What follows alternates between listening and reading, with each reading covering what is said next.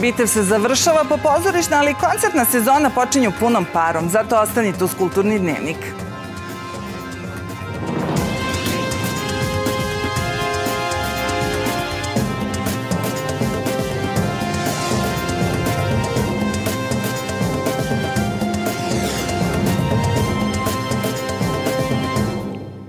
Emisiji između ostalo gledat ćete. Svečano je otvorena koncertna sezona Beogradske filharmonije. Izvedena je poslednja predstava glavnog programa Bitev teatra, čekaju se nagrade. Festival Isidori u čast najavljuje violinista Daniel Rowland, gost kulturnog dnevnika. Nova koncertna sezona Beogradske filharmonije počela je svečano večeras. Do juna sledeće godine biće održano 25 koncerata. Prvi odsviran večeras na Kolarcu gde je i naš izveštač Dragana Pantić. Dragana, kakav je bio zvanični početak sezone? Snežana, posle prvog koncerta mogu da kažem konačno. Konačno je počela punokrvna sezona Beogradske filharmonije i konačno se orkestar vratio u Kolarčevu zadužbinu. Možda je to i najjači utisak.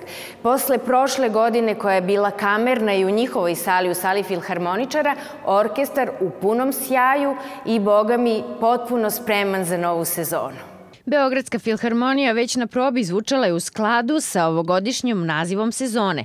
Baš smo vas uželeli. Energično i u punom sastavu za izlazak pred domaću publiku. Uvežbavala su se popularna dela ruske literature. Večerašnji program je kao i cela sezona osmišljen tako da je po ukusu kako naše publike na prvom mestu, tako i nas lično i muzičara i prosto svih koji vole filharmoniju, koji slušaju naša koncerte, a to, je, to su biseri klasične literature i to je nešto što svi vole da slušaju. Tako i ovaj koncert na pravi način predstavlja sve ono što će se dešavati tokom čitave sezone. Na isti način razmišljalo se i o programu u nastavku ovogodišnje sezone. Mogu da kažem da prednjače dobri violončelisti, opet će doći Narek Nazarijan, do doći će Johannes Mozer, e, doći će Julijan Štekel, e, istaknuti violinisti, prvi put Leticia Moreno, španska e, violiniskinja, takođe Sergije Dogadin, Nemanja Radulović 4. februara na dan dvorane Kolarca, ponovo sa nama. A na otvaranju publika, gužva i osmesi delimično prekriveni maskama. Orkestar je vodio John Axelrod nežno, ali odlučno kroz svečane melodije na repertoaru. Za klavirom velika pijanistička zvezda Begzod Abdurajmov, koji je iz Uzbekistana do svetskih pozornica došao munjevitom brzinom, zahvaljujući virtuoznoj tehnici praćenoj delikatnim, osjećajnim tonovima. Sami filharmoničari ističu da je dolazak mladog pijaniste uspeh na samom startu sezone. Na kraju važno je da kažem i nekoliko tehničkih podataka. Zbog pandemijskih uslova nema pretplate, nego se karte kupuju pojedinačno pred svaki koncert. Takođe, samo će pola kapaciteta kolarca biti popunjena. Studio, Dragana, hvala. Jubilarni deseti Takt festival otvoren je sinoć u Novom Sadu. Takt je okrenut promociji mladih kantautora i njihovog stvaralaštva.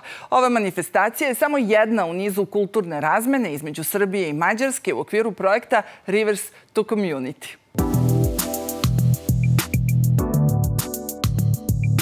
U ljudskom stvaralaštvu ne postoje granice, ako granice i postoje, umetnici su oni koji ih brišu.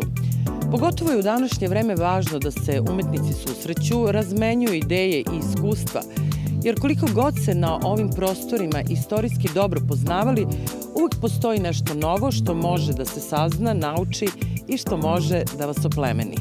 Rivers to Community je projekat koji će u naredne tri godine podržavati i otkrivati mađarsku i srpsku kulturnu scenu praktično ovaj projekat nastavak prethodnog koji se zvao Kaleidoskop. E, tema su granice i e, šta nam granice rade, e, kako nas dele i kako one nastaju i kako da ih obrišemo. Preko 200 izvođača iz više od 10 zemalja učestvuju u programu Takt festivala, a ovaj skriveni dragulj opstaje već 10 godina i na specifičan način oplemenjuje novosadsku kulturnu scenu sjajnih deset godina, stvarno puno ljudi prošlo, puno nekih ono predivnih, predivnih uspomena, puno dobrih umetnika naravno saradnika, predivno. Takt festival se završava u nedelju 26. septembra, a veče pre toga dešava se ono što je najvažnije, proglašenje pobednika jubilarnog desetog izdanja festivala.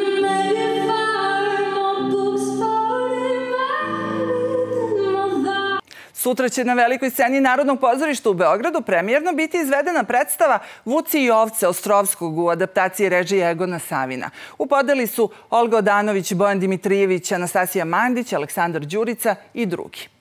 I još jedna premijera ovog vikenda i to u nedelju u Jugoslovenskom dramskom pozorištu. Na sceni Ljuba Tadić biće izvedena Široka zemlja Artura Šniclera u režiji Marka Manojlovića. U predstavi igraju Vojin Četković, Marija Vicković, Svetlana Bojković, Irfan Mensur i drugi. A sada iz prestonice idemo u Trstenik. U Domu kulture je održana tribina povodom 100 godina od rođenja Dobrice Ćosića. Dobrica Ćosić rođen je 1921. godine u Velikoj Drenovi kod Trstenika.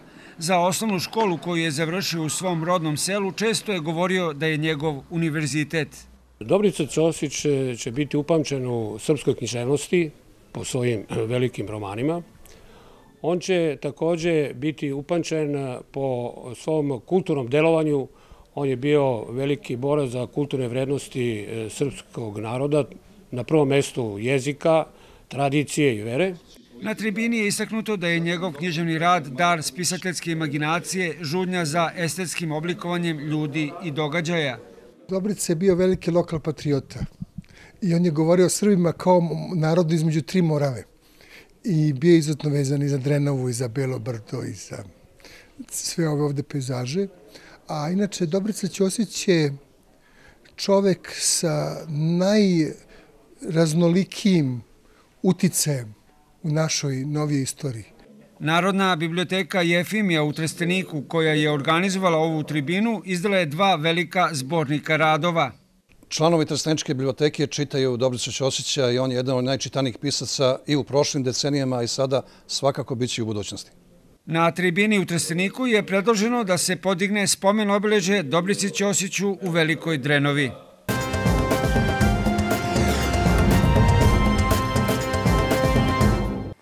Pošto je večeras odigrana poslednja predstava glavnog programa ovogodišnjeg Bitefa, a reč je o francuskoj predstavi instalaciji Flash, ostalo je da sačekamo odluke žirija koje će biti saopštene sutra uveče. Prethodne dane obeležila je i Bitev Polifonija. Flash Franka Vigrua u potpunosti se uklapa u tematski koncept Bitefa koji ispituje distopijski posthumanistički svet. Naglašenim vizualnim i zvučnim efektima, ova abstraktna, gotovo nadrealistička predstava oslikava trenutak koji čovek doživljava nakon velikog šoka. Stvorio sam predstavu nakon čitanja romana Betonsko ostrvo Jamesa Ballarda koji govori o čoveku koji je imao saobraćajnu nesreću i zarobljen je na mestu gde se ona dogodila. To me je podsjetilo na situaciju koju sam doživeo pre 20 godina. Oko početne vizije ranjenih tela i uništenih automobila izgradio sam ostale vizualne i muzičke elemente. Dvostruko izdanje ove godine imala i Bitev Polifonija. Šest predstava, tri dijaloške platforme i razgovori nakon izvođenja bili su deo programa koji se odvijao pod sloganom Igra za život. Ovim rečima Aska je opisala ples koji ju je spasao iz Vukovih čeljusti, a čak dve Aske bile su deo polifonije. Ove godine bavili smo se upravo tom jednom uh, igrom za život i različitim temama koje su proizašle iz izolovanosti, iz nečega što su sve ove ekološke, ekološka pitanja i tako dalje. Mi smo prateći program i uvek se negde uh, nalazimo u jednom susretu sa glavnim programom, uh, ali smo pre svega posvećeni mladoj publici i onima koji se tek otkrivaju. Polifonija se nastavlja i nakon festivala. U okviru programa Polifonija u trajanju biće organizovani brojni razgovori i radionice sve do početka narednog bitefa.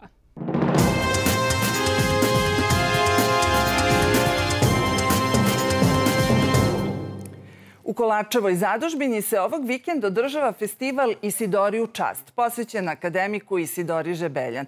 U subotu će Isidorini saradnici i prijatelji govoriti o knjizi, intervjua i autorskih tekstova, dok slušamo muziku Sadašnjost je večna, dok će uveče biti održan koncert pod nazivom Isidora Intimno. U nedelju na programu je koncert Isidora Moćno. Gost kulturnog dnevnika je violinista Daniel Rowland, koji je sarađivao sa Isidorom Žebeljan. Dobroveče. Nice to be here. Good evening. Kada je reč o e, koncertima, na programu su kamerna dela. Neka će i prvi put biti izvedena pred ovdašnjom publikom. E, kako ste odabrali ta dela i zbog čega? Oh, well, first I have to say I'm so happy to be here. Pre svega moram reći da mi je izuzetno drago što sam ovde i što govorim o mojoj dragoj prijateljici i sjajnoj kompozitorci Isidori Žebeljan. Što se tiče dela koja smo odabrali, ideja nam je bila da pokažemo ljudima koji znaju Isidoru i vole Isidoru, ali da ih pokažemo ljudima koji nikad nisu čuli za Isidoru Žebeljan, da pokažemo pun spektar eh, njene makše, mašte genijalnosti i uh, sve te uh, strane njene ličnosti od dirljive i nežne muzike kao što su spavanka za bebu, zatim male narodne pesme eh, iz planina Odatle e, e, prelazimo na izuzetno virtuozne i emotivno intenzivne, intenzivna koncertna dela. Isidora je pokrila čitav jedan e, spektar od slatkoće i jednostavnosti dok složenih virtuozno briljantnih dela koje želim da pokažem svetu. Sa Isidorom ste sarađivali u okviru kvarteta Brodski kao solista, kao direktor festivala u Holandiji. Možete da nam kažete šta je to u Isidorinom muzičkom zapisu koji je e, nailazio na, na jake emocije i kod e, publike, ali i kod muzičara. Yeah. I think the thing about Isidora really Mislim da je kod Isidore e, najvažnije, a nažalost umrla je pre skoro godinu dana, najvažnija ta kombinacija neverovatne topline i ljudskosti. Isidora Žebeljan, a pored toga Ona je apsolutno sjajan kompozitor i prvi put kad sam je upoznao bilo je u okviru kvarteta Brodski, to je bilo 2007. godine u Hagu u Holandiji. E, svirali smo e, e, kladinetski kvintet koji ćete čuti i ovog vikenda i redko sam streo tako komplikovano i teško delo i smatrao sam da ga je nemoguće svirati jer ritam je potpuno lud. Osjećao sam da to ima neke veze sa srpskim i balkanskim pesmama i plesovima, ali smatrao sam da je to nemoguće odsvirati. A onda se pojavila Isidora, prelepa žena koja je prosto zračila i ona je rekla to nije teško, svirajte to ovako. I onda nam je to otpevala. Ona je pevala i dok je pevala ujedno je i plesala, ako to nije bilo jasno, otišla bi za klavir i odsvirala nam to. Tako da e, je pokazala kako se to može svirati i to što je bilo kompleksno e, i ono što je po meni E, tu kompleksno i ono šta je Isidora uradila. Uzela je, da kažem, Balkan, ceo ovaj region, znači Mađarsku, Rumuniju, Srbiju, sve zemlje podunavske koje sve čine Isidorino naselje. Uzela je sve te plesove i pesme iz tih zemalja i one su prošle kroz njen izuzetni um, kroz njen lični kaleidoskop i ono što je izašlo bilo je nešto veoma eklektično, kompleksno i avangardno, ali u isto vreme potpuno ukorenjeno u tim pesmama i plesovima od kojih je počela. Isidora je zaista bila posebna. Volela je da pleše na probama, imala je specifičnu komunikaciju sa izvođačima. S kakvim emocijama zapravo se sada nosite pred ovaj dvodnevni festival?